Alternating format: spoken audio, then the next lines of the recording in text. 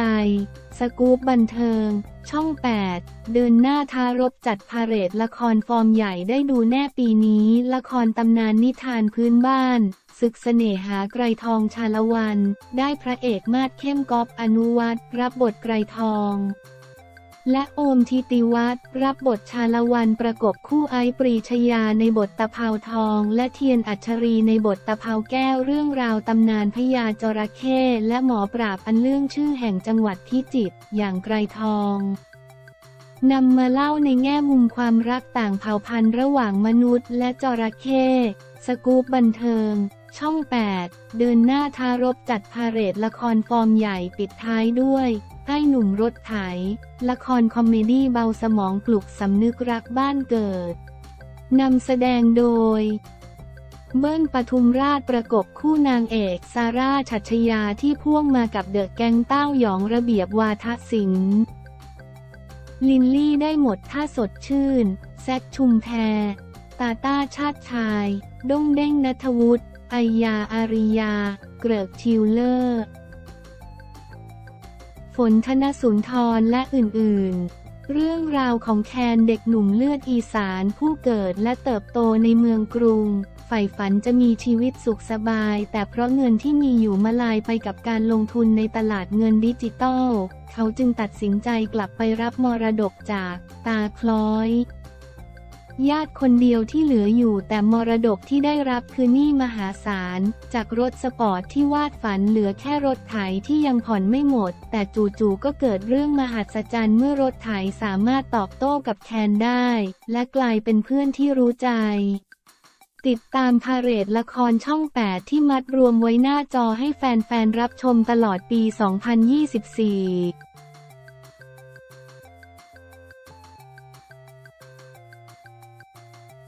กุ้งสุธิราชอัปเดต อาการป่วยน้องสาวยังไม่รู้สึกตัวลั่น ตราบใดที่พอมีทางก็ยังไม่หมดหวัง แห่ส่งกำลังใจอย่างต่อเนื่อง หลังจากที่นักร้องลูกทุ่งชื่อดัง กุ้งสุธิราชวงเทวันออกมาแจ้งเรื่องที่น้องสาววิวิรดาวงเทวันป่วยไข้เลือดออกชนิดรุนแรง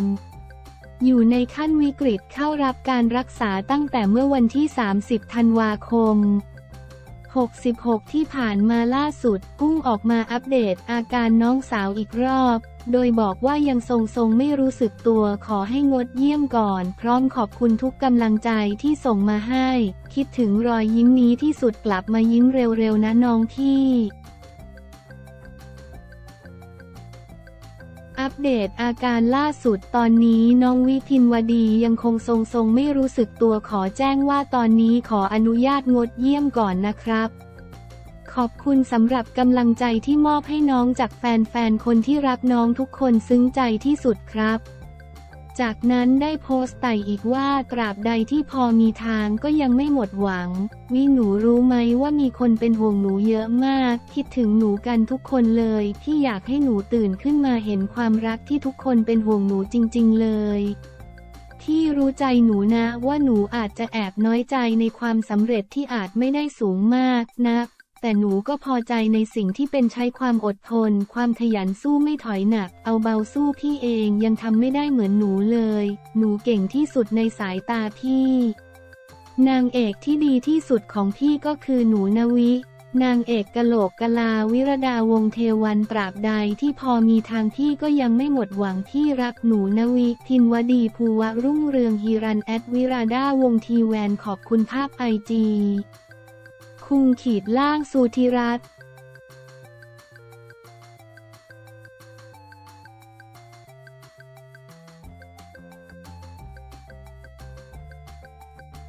วุฒิสภาจ่อตั้งกมทงบ 67 ทำงานคู่ขนานสภาติงรัฐบาลจัดงบไม่สะท้อนนโยบายเสอู้ เผยพรุ่งนี้วุฒิสภาจ่อตั้งงบมทงบประมาณ 67 ทำงานคู่ขนานสภาให้ทัน 9-10 เมษายน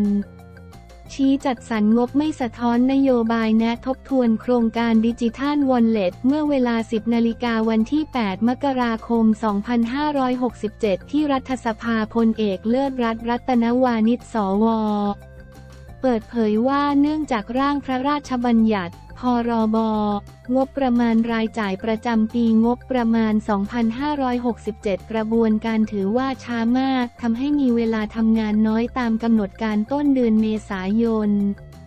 จะต้องผ่านสภาผู้แทนราษฎรในช่วงต้นสัปดาห์ และต้องส่งให้สวพิจารณาให้เสร็จภายในวันที่ 9-10 เมษายน เพื่อนำขึ้นทุนกล้าวทุนกระหม่อมประมาณวันที่ 17 เมษายนกรอบเวลาของสว ในการพิจารณามีน้อยมากแค่ 6-7 วัน ด้วยเหตุนี้ประธานวุฒิสภาจึงมีดำริให้ตั้งคณะกรรมาการ กมท พิจารณาร่างงบ รบงบประมาณปี 2567 โดยในส่วนของวุฒิสภาจะตั้งพรุ่งนี้เช้า วันที่ 9 มกราคม จำนวน 41 คน มีทั้งจากกมท วิปและมีผู้ทรงคุณวุฒิจากภายนอก 5 คน และจะเริ่มประชุมตั้งแต่วันที่ 15 มกราคม คู่ขนานไปกับกมทของสภาเพื่อจะช่วยให้ส่วนราชการได้มาชี้แจงคู่ขนานกันไปอย่างสะดวกพลเอกเลิศรัฐกล่าวต่อว่าประมาณวันที่ 20 มีนาคม กมทของสวก็จะจบการพิจารณาพร้อมกับกมทของสภา จากนั้นจึงเข้าสู่การแปรยตติและนำเข้าสู่วุฒิสภาเพื่อเปิดอภิปรายงบประมาณในวันที่ 9 เมษายน ต่อไปเพื่อให้ข้อเท็จจริงและรู้รายละเอียดเพียงพอ ซึ่งตอนนี้ทยอยแจกเอกสารรายละเอียดไปแล้ว เพื่อให้สมาชิกทยอยมารับสำหรับภาพรวมของงบประมาณปี 2567 พลเอกเลิศรัตกล่าวว่าแม้จะมีข้อจำกัดมาก แต่รัฐบาลก็ดันวงเงินไปได้ถึง 3.48 ล้านล้านประเด็นแรกมองว่างบลงทุนเพียง 20%อาจไม่มากพอที่จะผลักดันประเทศให้พ้นจากปัญหา